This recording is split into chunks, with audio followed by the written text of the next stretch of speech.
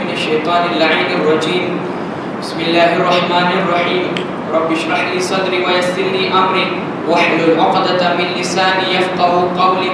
الحمد لله الذي جعلنا من المتمسكين بولاية سيدي ومولاي علي بن أبي طالب عليه السلام.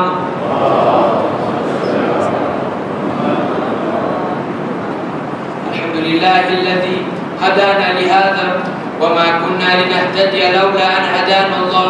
أما بعد. يقول الله في كتابه الكريم والفرقان الحميد. بسم الله الرحمن الرحيم. وقل سلام فسوف يعلمون. صدق الله العلي العظيم. صلوا على محمد وآل محمد. The subject concerning the rights of servants and dignity of labor is a subject that impacts all our lives. What are the rights of servants? What are the rights of laborers?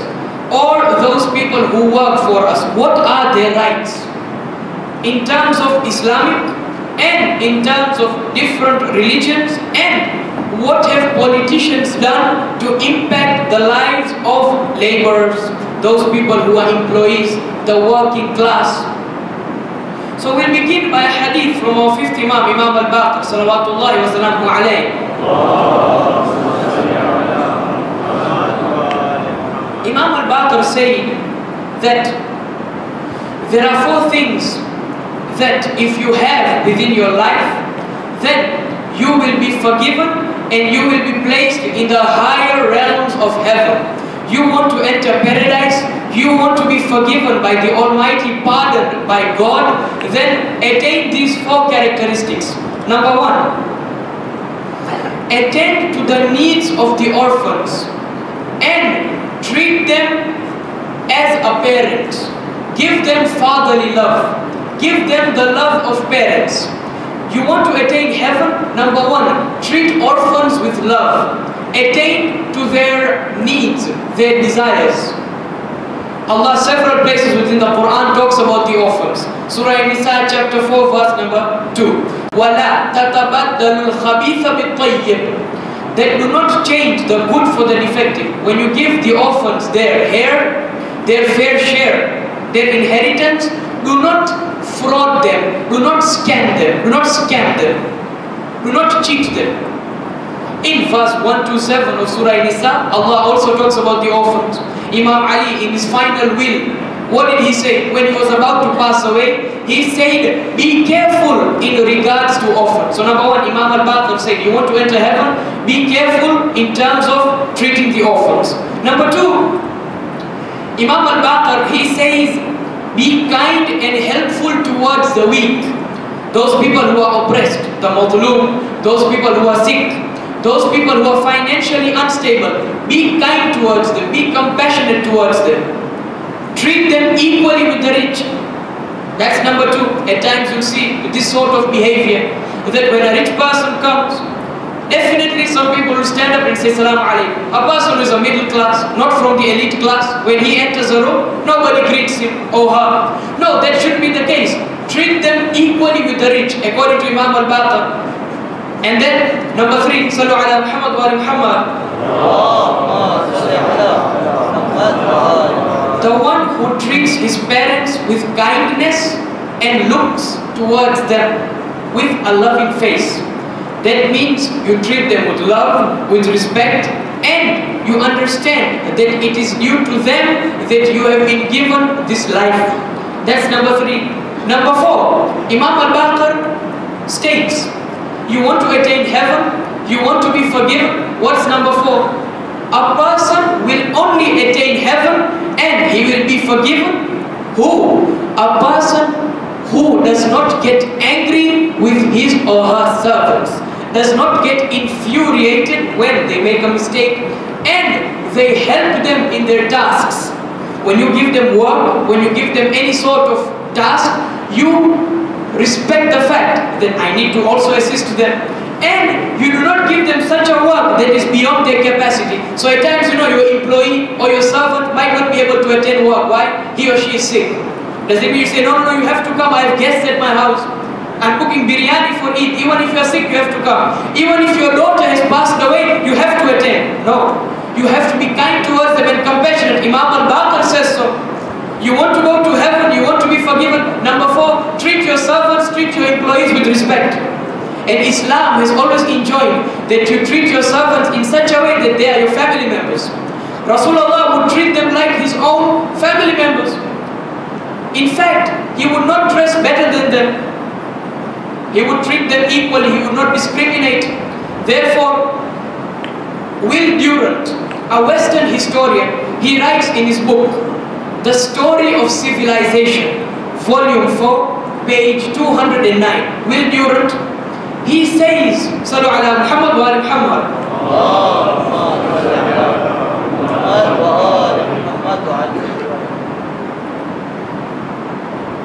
That during 18th century Europe, I'm paraphrasing, I'm not quoting the exact statement, but a general understanding of what Will Durant, a Western historian, states. He says that during Europe, 18th century, 19th century, I beg your pardon, those people who'd work for factories, factory workers, they would be treated with respect, no doubt. You can't mess with factory workers. If you treat them harshly, if you do not give them their wages, they are going to leave you high and dry. You will not be able to produce products. You will not be able to produce goods. So they will be treated with respect. Will Durant says that the Muslims during their time, during Prophet Muhammad's time, they would treat their servants with so much respect, even more than those owners, those employers would treat the employees in a factory within Europe. Rasulullah's followers, the followers of Prophet Muhammad, followers of Islam, would treat their employees in such a way with even more respect than those workers working in European factories during the 19th century. Imagine. Further than that, Imam Ali ibn Abi Talib, salawatullahi wa salamu alayhi, he was once walking with Qambar, Qambar, his male slave and they passed by a shop.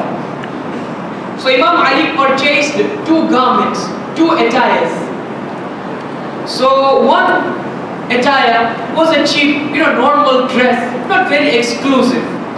The other one, mashallah, was beautiful, fantastic, expensive, uh, very, very stylish. Imam Ali called Qambar and said, you take this stylish dress, this garment, this expensive attire, you take it. Qambar said, no ya Mawla, how can I, allow you to have this cheap coarse dress, this normal attire, while I take the expensive attire, I take the expensive garment, how is it possible? Imam Ali looked towards Qambar and he said, Qambar, you are a young person, you are way younger than me. And young people should always dress nicely. They should always look handsome. Therefore, take this garment that I bought, but you take it, it's a gift from me. In fact, Maulana Adil Razak, within his speech, he stated that these slaves who would work for the imams, who would work for the Prophet, they would love working for him, for them, to such an extent that when they were freed, when they were told, leave from here, it's okay now, you can go and lead a normal life, you do not need to walk under me, they would cry, they would begin weeping and wailing, that Ya Mawla, please do not free us, we still want to serve you. We are gaining knowledge from you, we are being treated so wonderfully by you, why should we go to someone else? And why should we lead a normal life when we are leading such an amazing life under your service? Imagine. And therefore, a book by the name of the Encyclopedia of Islam, volume 1, page number 35, a Western historian, he writes that there is perhaps no nation that has treated the captives, the slaves, the servants, and the very toilers of the galleys with more respect and more kindness and more compassion than the Muhammadans. Now who are the Muhammadans? We, we are the Muhammadans.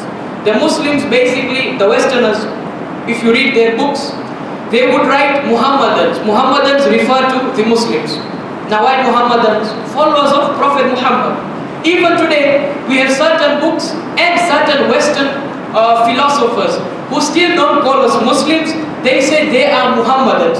So he writes in his book, this Western historian, in the Encyclopedia of Islam, volume 1, page 35. There is no nation that has treated the slaves and the servants and employees with more respect than the religion of Islam and its followers.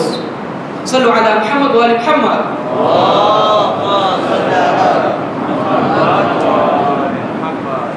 If you open Alama Majlisis, Hayatul Qulub, Alama Majlisi has authored many books within our sect. Hayatul Qulub, volume 2, page 562 to 563. And Abu Ahmad al-Isfahani, he also writes within his book, volume 4, page number 58, both of them state, and it's there within several tafsirs as well. If you open the enlightening commentary, Agha Pooya's tafsir, etc., this particular narration is there.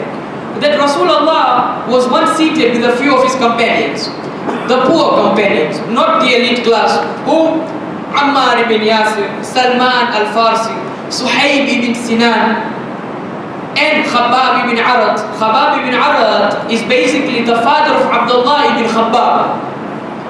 Who is Abdullah ibn Khabbab? A faithful Shia. His father Khabbab ibn Arad, famous companion of the Prophet. And Bilal. They were sitting and a few other Muslims, not very well off, not very rich, not very wealthy. So a few unbelievers passed by and they saw Rasulullah sitting with these, you can say people who do not belong to the elite class. They looked towards the Holy Prophet, they said, Ya Rasulullah, or you who claim to be the Prophet of God, you are sitting with these people. Is it that Allah has bestowed His favor upon them and not upon us, the rich? If you want us to follow you, then one condition. What? Leave their company, leave them, forsake them, abandon them, and come towards us. Give us company.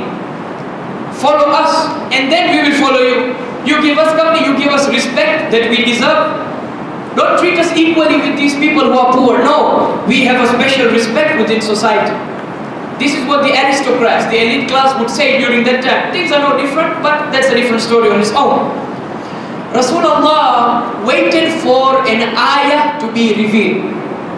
Which ayah? Surah An'am, chapter 6, verse number 52. Allah, what does He say? وَلَا تَطْرُدِ الَّذِينَ يَدْعُونَ رَبَّهُمْ بِالْغَدَاوَةِ وَالْعَشِيِّ يُرِيدُونَ وَجْهَهُ What does Allah say?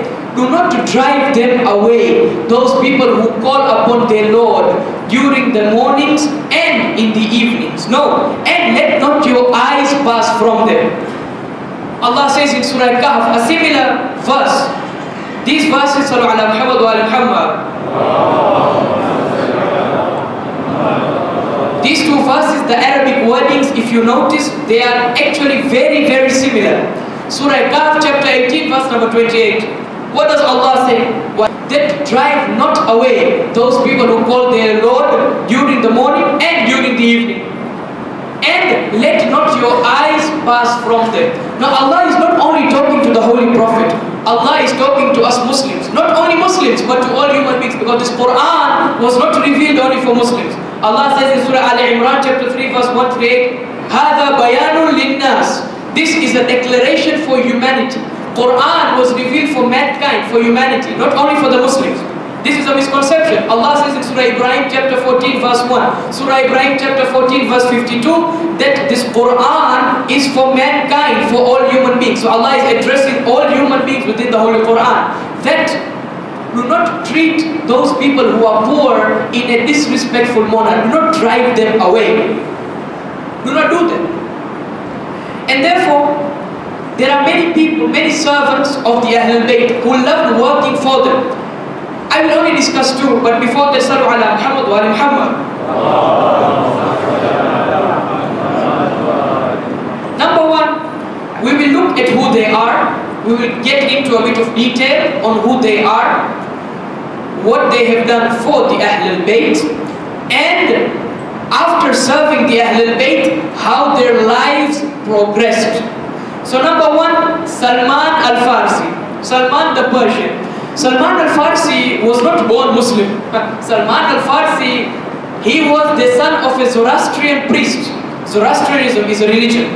So he was born as a Zoroastrian. And then he converted into the religion of Christianity. He became a Christian. You see, when you see people converting from one religion to another, it's not something bad. It's something good because they are searching for truth. They are looking for the right path. They are looking for a path of justice, a path of kindness, compassion, generosity. So Salman said, you know, I'm Zoroastrian. I respect my religion, but you know what? I feel Christianity, you know, its rules, uh, the proofs and evidence that I've gathered they tell me that, you know, you need to join Christianity. He then served a Christian priest. After that, what happened? After long-lasting hardships, he went and served a monk in the Antioch. After that, what happened? He was sold from one master to another. A gang of warriors, they captured him and he was sold from one master to another. During that course of time, he found out about that prophet. Now who is that prophet? The Bible, you see Salman al-Farsi would read the Bible. He read a verse. Which verse? This verse is still there within the Bible today. Gospel of John, the New Testament, you know the New Testament has four Gospels. John, Matthew, Mark and Luke. Gospel of John, chapter 1, verse 19 to 25. What do these verses say? They say that are you the Christ? They ask John the Baptist, Nabi Yahya, art thou the Christ? John the Baptist, Nabi Yahya says, no, I'm not the Christ. That's Jesus. And they say, then who art thou? Art thou Elijah? Are you Elijah? Now who is Elijah? That is a debate on his own. Some people, some scholars say that's Ali ibn Abi Talib. Some say no, it's Nabi Ilyas. And Christ himself in the Bible says Elijah is John the Baptist. But John the Baptist, Yahya says no, I'm not Elijah. And then they ask him, then are you that prophet now who is that prophet? Verse 25 of the Gospel of John chapter 1, it says, If thou art not the Christ, not the prophet, not Elijah, who art thou? That means they were awaiting three distinct personalities. They were waiting three different people. They were waiting for Christ, Nabi Isa. They were waiting for Elijah. That who it is, still, it's a matter of debate. And then they were awaiting the Holy Prophet Muhammad, Prophet, dead Prophet. So Salman was looking for that Prophet. And we have discussed many times in the past, in my speeches, I've talked about Prophet Muhammad in various world scriptures. He's mentioned in the Hindu scriptures, the Buddhist scriptures, the Christian scriptures as well. This verse, normally very underrated, but it's a very, very interesting verse. John 1, 19 to 25. So Salman saw this verse, and he's like, who is this prophet? And then he heard about a man in Arabia, in the Arabian Peninsula. This man, he said that I speak up for the rights of women. I am a feminist in reality. The Holy Prophet was a feminist speaking for the rights of women, thinking about daughters who were getting married, thinking about those wives who were ignored by their husbands. You know Surah Mujadila, chapter 58 of the Quran? What does, what does Mujadila mean? The woman who pleaded to the Prophet. She was complaining about the treatment of her husband. The Holy Prophet came and spoke up for the right. Salman heard about this. He heard that a man was involved in a league of justice called Hilful Fudul. Before Prophet Muhammad declared prophethood, he was part of Hilful Fudul, the league of justice now, Salman heard this and said, you know what? This man has to be that prophet. He came towards Rasulullah and he converted into the religion of Islam from Zoroastrianism to Christianity and Islam. Imam Ali ibn Abi Talib salawatullahi wa salamu alayhi.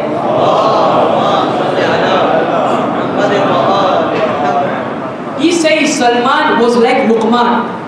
Salman al-Farsi was like Luqman. Luqman, there's a whole chapter in the Quran that is named after Luqman, chapter 31. Further than that, Imam Aswad, he said during certain predicaments, certain instances, Salman was even better than Luqman. Further than that, traditions and narration state that he was from the Mutawassimin, from those people, Sallallahu Alaihi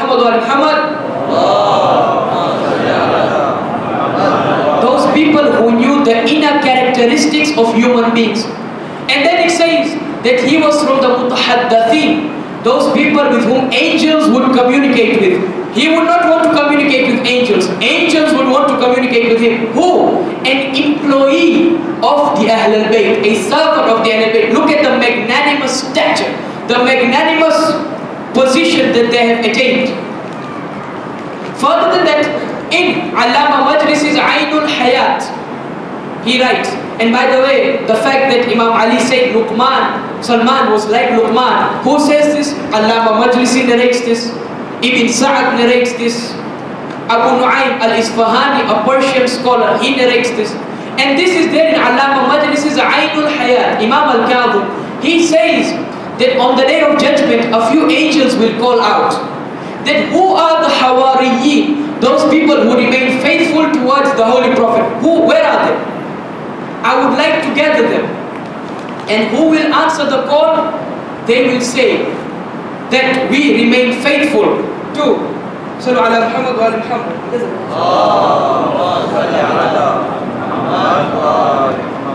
that they will say we remain faithful to the covenant that we made with the prophet. We never deviated from the right path during the time of the holy prophet. Whatever message he left for us we followed suit.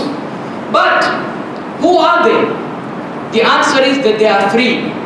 Salman Miqdad and Abu Dhar, Salman al-Farsi, an employee of the Holy Prophet. Imagine. Look at the status of Salman al-Farsi. Mansur ibn Buzur, he himself belonged to the Persian origin. He was a Persian, a guy speaking Farsi.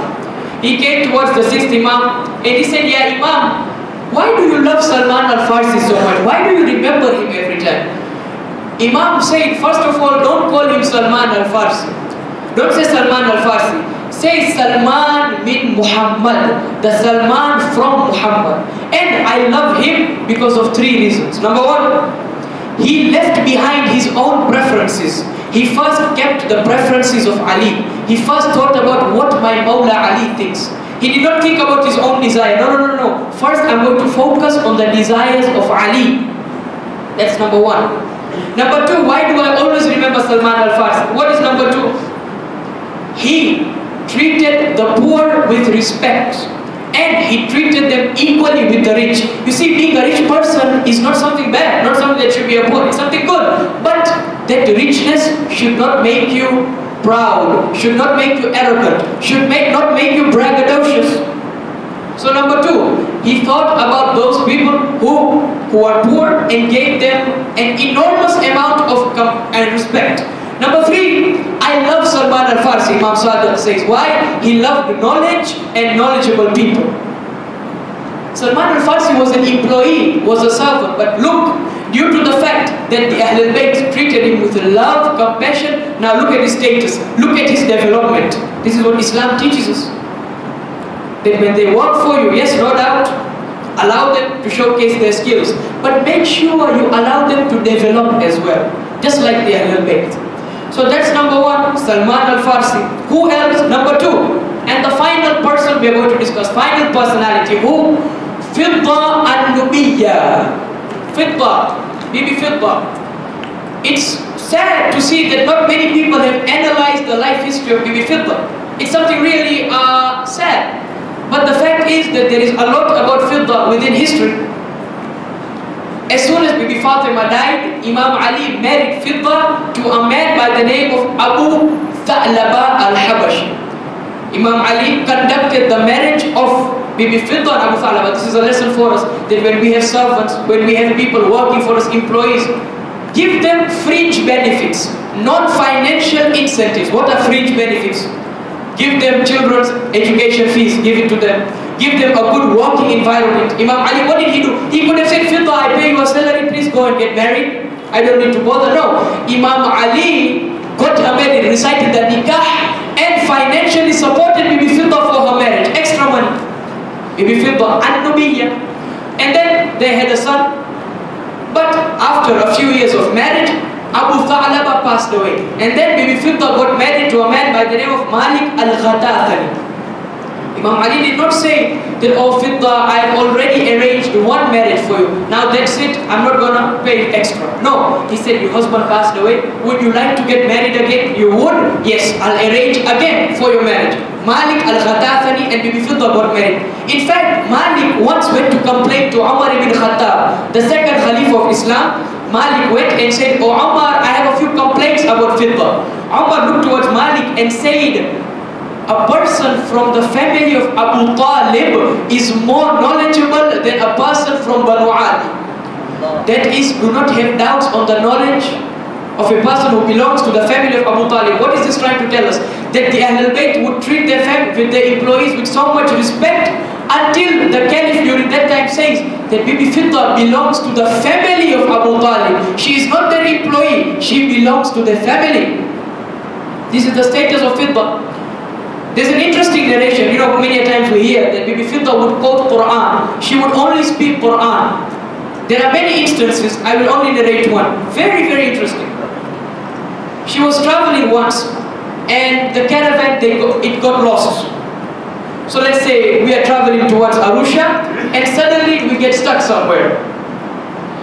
So, these people were lost they looked towards Bibi Fidda and a man approached Bibi Fidda and said, who are you? What's your identity?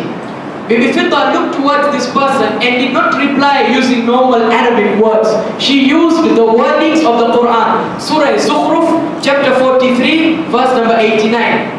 وَقُلْ سَلَامٌ فَسَوْفَ يَعْلَمُونَ And say salam towards them and turn away from them. Bibi Fidda was upset You are coming to me right now. You are asking my identity. First, greet me. Many a time you see people, oh, let's get to the point. No, begin, hi, hello, how are you, salam alaikum, I hope everything's alright. Bibi Fidda, she doesn't even know the man, the man doesn't even know Bibi Fidda. Instead of saying salam alaikum, straight away he starts, who are you? Bibi Fidda says, وَقُلْ salam فَسَوْفَ يَعْلَمُونَ Chapter 43, verse number 89. This man realized his mistake. He said, salam alaikum, I'm very sorry. And then he said, Sallu ala Muhammad wa Muhammad.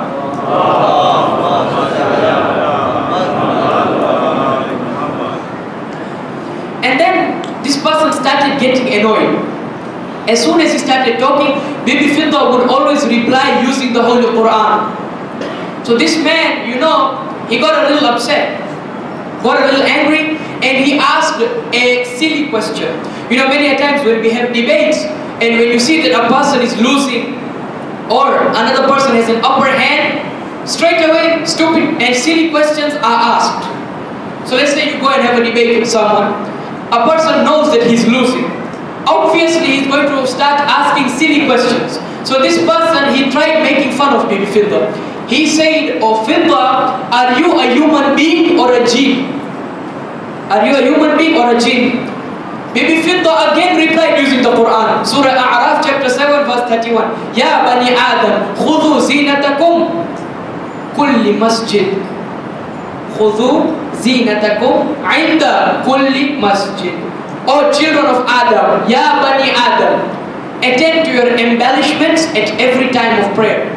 Now question is, that what is Bani Adam, why does she quote this verse? Trying to say that I'm a human being. In Kiswahili, what is Bin Adam? Bin Adam, Bin Adam. In Arabic, Bin Adam, I'm a human being. For goodness sake. And then, this person continues, Sallu ala Muhammad wa Muhammad. Where are you from, O Fidda? She replied using Surah Fussilat, chapter 41, verse number 44. Ulaika yunadawna what? That they come from a place far distant.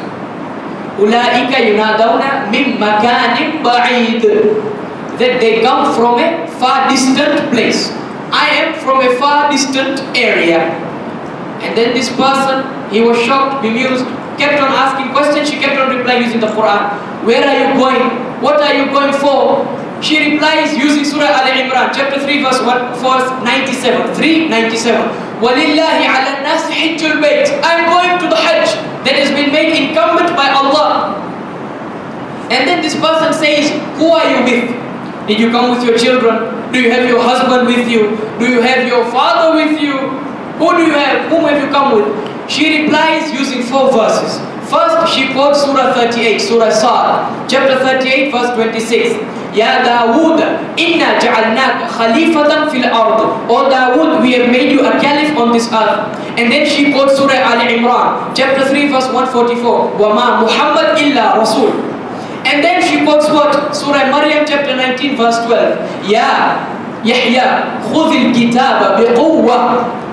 And then she quotes Surah Taha, chapter 20, verse number 11 to 12. Ya Musa inni rabbuk. Now question is, why does she quote all these verses? She quotes a Quranic verse talking about David. She quotes a Quranic verse talking about Muhammad. She talks about uh, Yahya, John the Baptist. And then she talks about Musa. As soon as she finished, four of her sons, their names were Dawood, Musa, Yahya and Muhammad, all of them came towards Bibi Fizza and the man. And then she said, did you get your answer? Now do you understand? I have come with my four children. And all these four children, their names are there within the Quran. That's why I quoted the Holy Quran. Our last segment, before I move on to the Masa'ib, will be talking about dignity of labor. What's dignity of labor? Dignity of labor is a philosophy that states that all occupations, all work, all labor have to be respected equally. Whether you are a doctor, I will respect you in the same way as I respect a sweeper. This is dignity of labor.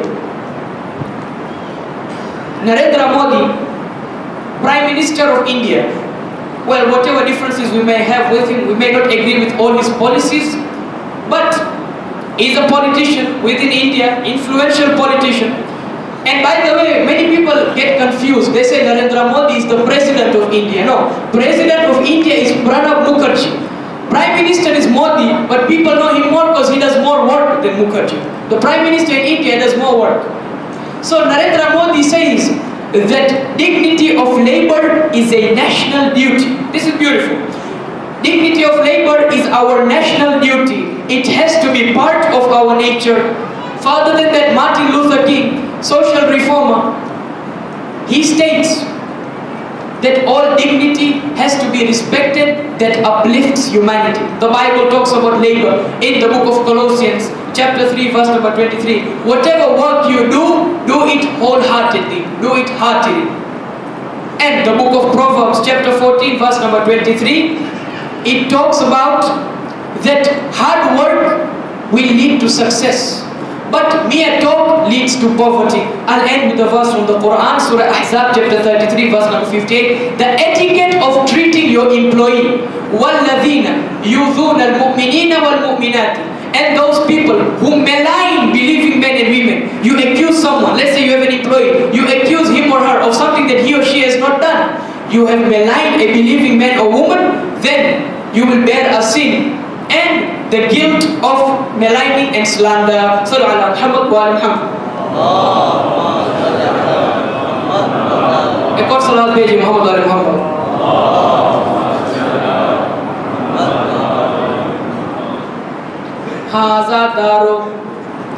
شام کے زندان میں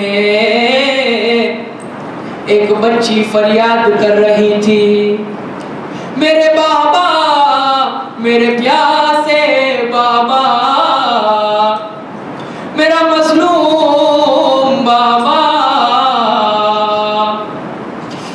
ایک شخص وہاں سے گزر رہا تھا، ایک مومن وہاں سے گزر رہا تھا، انہوں نے نوحہ سنا۔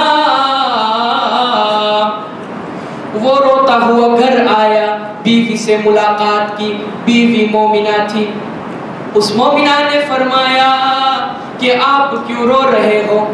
اس مومن نے فرمایا، ہم ہمیشہ چاند کی پہلی رات کو حسین کا صدقہ دیتے ہیں۔ آج میں زندہ شام میں گزر رہا تھا، ایک بچی کی آواز سنی، وہ فریاد کر رہی تھی کہ میرا بابا گزر گیا ہے، میرا اٹھارہ برس کا بھائی بھی مارا گیا، میرا چھ مہینے کا بھائی بھی مارا گیا۔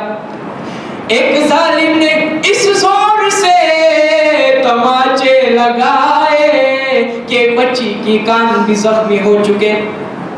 آزادارو مومنہ نے بھی گریا کیا۔ مومنہ نے فرمایا، چلو میں بھی کھانا نہیں کھاتی، چلو ہم زندان کی طرف چلے۔ وہ دونوں زندان میں پہنچے۔ پہلے کس سے ملاقات کی، پہلے حسین کی بہن سے ملاقات کی۔ بہن زینب نے کھانے کی طرف دیکھا اور فرمایا، یہ کون سا کھانا ہے؟ اس مومنہ نے فرمایا، یہ صدقہ کا کھانا ہے۔ بی بی زینب نے فرمایا کہ ہم صدقہ کا کھانا نہیں کھاتے۔ اس مومنہ نے زینب کی طرف دیکھا، فرمایا، اے خاتون، اے بی بی یہ معمولی صدقہ نہیں۔ یہ حسین یہ حسین نبی کے نوازے اور علی کے بیٹے کا صدقہ ہے۔ حسین کا نام سننا تھا بی بی زینب نے گریا کیا۔ اس مومنہ نے جناب زینب کی طرف دیکھا اور فرمایا کہ میرے مولا حسین کو آباد اور سلامت رکھے، خدا علی اکبر کو سلامت رکھے، خدا عباد سلامت رکھے، پھر سے مومنہ نے دعا دی۔ مولا حسین کو خدا سلامت رکھے۔ حسین کا نام سننا تھا، سارے یتیم نے گریا کیا۔ مظلوم حسین مظلوم حسین۔ اللہ رحمت اللہ علی القوم الظالمین انہا للہ و انہا الیہ راجعون۔ barilah tujuh wasta Muhammad wa Muhammad ke is qalil azadari ko is qalil si majlis ko teri bargah mein qubool farma jo berozgar hai unhe rozgar inayat farma jo makruze hai unke qarzon ko farma jo be aulad hai unhe aulad inayat farma and let us remember all those people who are sick suffering all around the world with the recitation of amma yujib. Bismillahirrahmanirrahim. Amma yujibul mudtarra ila ta'ala السوء جميعا أما يجيب المضطر إذا دعاه ويكشف السوء. أما يجيب المضطر إذا دعاه ويكشف السوء. ما يجيب المضطر إذا دعاه ويكشف السوء. أما يجيب المضطر إذا دعاه And tonight.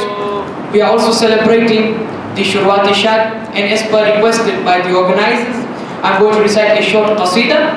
Of course we did do Masa'ib remember Aba Abdullah because that is our custom, that is our practice that whenever we have any event we remember the master of martyrs the man who was admired by many social reformers, Mahatma Gandhi, whether it be Mandela, and we are going to end with a short qasida in honor of the first Imam, our Mawla, Imam Ali ibn Abi Talib. Therefore, all together, Afdalus Salat.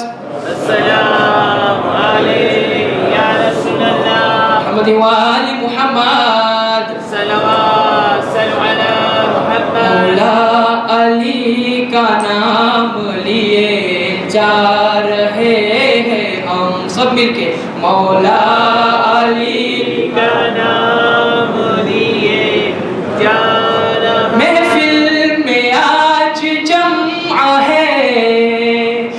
دیوان اہل بیت محفل میں آج جمعہ ہے۔ محبان اہل بیت بھر بھر کے ان کو جام دیے۔ جا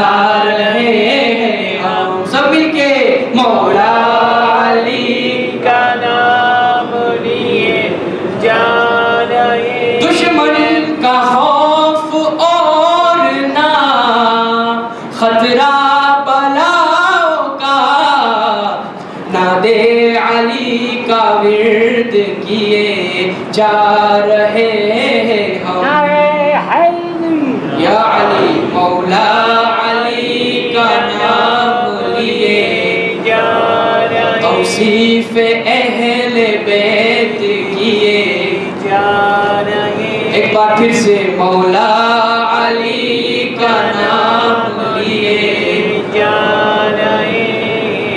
أفضل الصلاة۔ محمد وآل محمد۔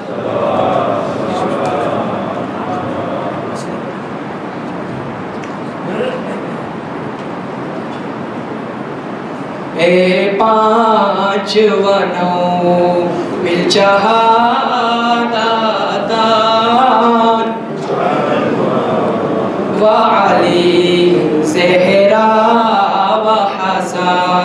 Show.